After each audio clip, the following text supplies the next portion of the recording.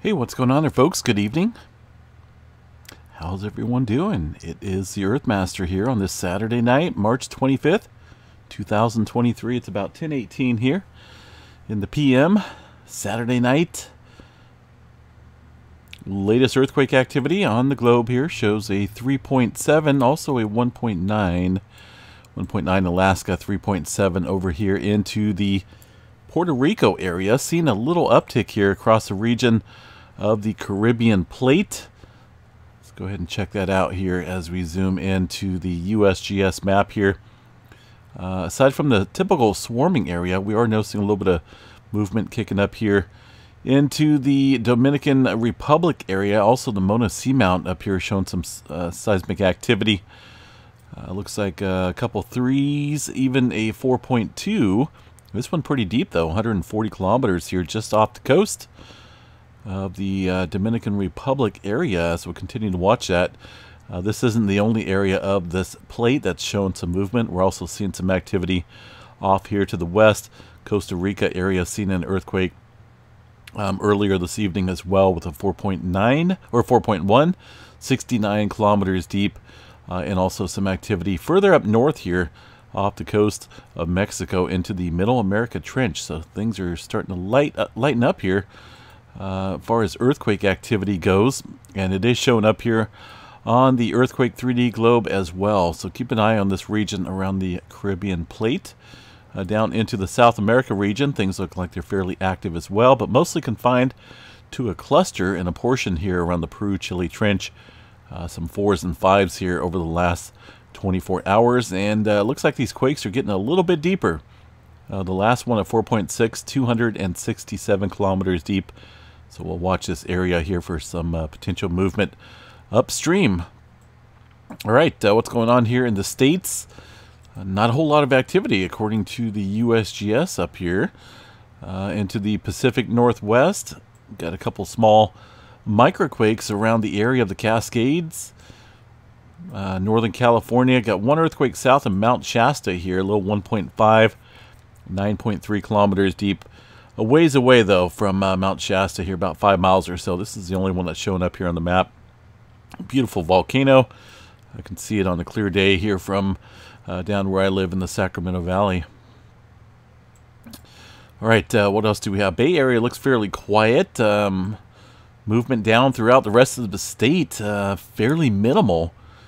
See most of the activity here, all microquake movement. Uh, I don't think we've seen anything above the 2.5 threshold throughout the state of California, aside from that 3.1 off the coast here of Eureka way early this morning and out into the Pacific Ocean. Things are relatively uh, quiet, uh, minimal activity out here along the west coast for now.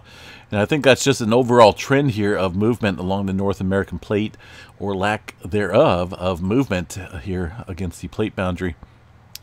The Yellowstone area, let me see what we got here for Yellowstone. And most of the time when things are quiet out here along the west coast, uh, up against the Craton here and the North American continent is fairly quiet as well. And that looks to be the case out here. Not a whole lot of earthquake activity uh, across the region today. Uh, into the Alaska area, let's see, we've got a couple smaller quakes here through the Aleutian Trench and the Cook Inlet area. Nothing major going on across the mainland up here. Uh, a couple scattered twos. The largest quake in this area looks to be a 4.3 coming in earlier this evening. That along the Aleutian Trench here. Slight uptick in activity uh, across this region. Also, uh, still seeing a little bit of movement across the volcanoes here, the Tanaga and the Takawangha volcano. We did see a 3.0 pop up here into that swarming region earlier, although uh, most of the activity there in the smaller range of magnitudes. One earthquake off the coast here of Taiwan, a 4.4, 10 kilometers deep here uh, into the western edge of the Philippine plate. See what we got going on here across the EMSC model globe. Uh, starting to spread out a little bit. Notice that we're getting that westward shift here, northwestward shift of momentum and pressure. Looks like it's finally starting to work its way up here around the Java Trench. Right now, this earthquake activity, very minimal.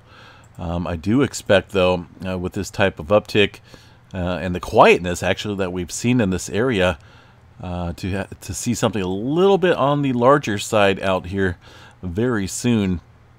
Uh, the latest earthquake of 4.5 into the northern edge here of the Java Trench off the coast here of northern Sumatra, Indonesia. Uh, was 4.5, 65 kilometers deep. So we'll continue to watch that. We really haven't seen any large-scale movement here in this area uh, in a little while. Let me bring up the 6.0 and above. Uh, we're just going to go here. Of course, we did have some activity a couple years ago, but I do want to check here just in the last year. Uh, I'm going to draw a little rectangle out here on, on the map. If I can figure out where I'm at. There we go. And this is going to be roughly around the Andaman Sea southward, the northern end here of the Java Trench. Kind of curious to see uh, when the last good-sized quake was out here. So it looks as though, um, and these are just somewhat moderate quakes for this area. I think a lot of folks know that this region is very capable here, the Java Trench, very capable of producing some very large earthquakes. Um, so if you want to go in the most recent largest one so far, it looks like a 6.9. Um, back in November of 2020, uh, 2022, uh, but that's still kind of at towards the middle edge here, in middle section of the Java Trench. Up north, uh, a couple earthquakes it looks like from uh, last year as well. Sixes appear to be the number. No sevens or eights in there. Historical data, though, is uh, definitely uh, got some large earthquakes out there. So we'll continue to watch that region uh, for some movement. Bring back the USGS map here. There we go. Um, let's see what else we have across the Middle East. We got one earthquake here into the Iraq area, or Iran, excuse me, 4.8, also 4.5 over here. That uh, where's that one at? That's way in oh, Indonesia. I'm trying to get this one, Turkey, 4.3 from last night. Doesn't look like there's anything major going on out here across the Mediterranean right now, uh, or the Turkey area. Mostly smaller microquakes in this region today, and uh, tonight as well. Atlantic Ocean looks fairly calm. 4.7 from earlier today. So let's see what we got down here into the Tonga area and the Kermadec Trench. Noticing a trend of activity across this area. Um, definitely all of this from today, just after midnight. Had some fours and even a five. Most of this relatively shallow movement, except for uh, this deep earthquake here into the Tonga Trench. That was uh, about 2 o'clock this morning for a, goodness, 522 kilometer deep, 4.7. So getting some adjustment up around the bend here. Uh, we should see some activity up around the Tonga Trench, the subduction level area. Uh, but also, uh, we're already seeing the signs of it stretch up around the bend here. Uh, so we'll keep Solomon Islands, Papua New Guinea in check as well. Uh, that is uh, an open gap area far as seismic lack of seismic seismic activity goes. Keep that in mind. Uh, down into North Island, New Zealand, looks like a 3.2 coming in. Uh, I don't believe we've seen anything major going on across the New Zealand area currently. Two hours ago, 2.6, 2.5.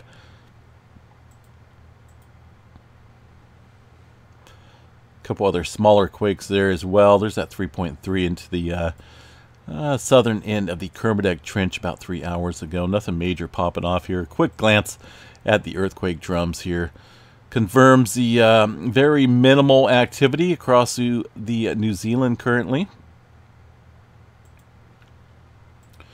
All right, uh, let's see what else we got here across the area of the Earthquake 3D globe here. Trying to see if there's anything out of the ordinary. Looks fairly, uh, looks active, but definitely uh, noticing a couple different trends here that are taking place. This advancement along the northern end of the Java Trench, elevated activity here across Taiwan, and um, I think the big, more noticeable one tonight is going to be the uh, Caribbean Plate here. Middle America Trench uh, and the Caribbean Plate areas around Puerto Rico show an uptick definitely on an elevated scale. All right, uh, let's see here. Tremor map here tonight along the Cascadia subduction zone. 69 epicenters here of tremor. Looks like a little bit up outside of Seattle and Olympia and a little bit down into southern Oregon here outside of Medford underneath these areas into the Cascadia uh, subduction zone. No major earthquake uh, activity to report there. No major tremor movement. Actually, it's been a little while. You notice that? Uh, look at this gap up here since our last elevated tremor, Uh, our last, you know, somewhat elevated tremor uptick was back in October of 2022. Now the sequence here, if you look at the sequence of numbers, there's, uh, you know, some regular intervals here.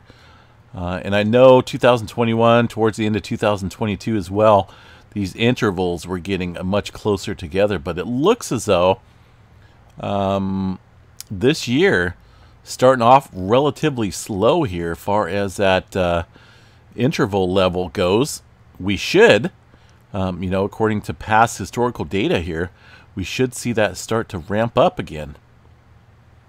Um, I'll be surprised if it doesn't, but it's been relatively quiet here for 2023 uh, in terms of elevated tremor uptick.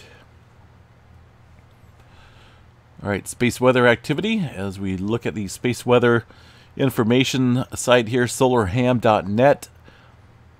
Looks like we're entering into the uh, uh, blackout here of data. It's always around this time. Always Always pick the right time to uh, see that blackout. Uh, looking at the UV filter rays here of the sun shows some numerous sunspots. A little coronal hole it looks like here. Let's see what we got. This coronal hole 88 is gaining some strength it looks like. Getting a little bit broader. It is in position here. Center disk of the sun lined up perfectly with the Earth-Sun plane.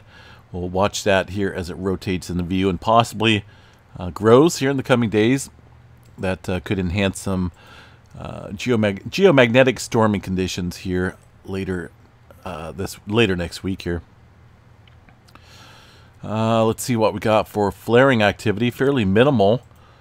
Um, looking at the current solar flare magnetic structure. Still watching this region right here, uh, roughly about the center portion.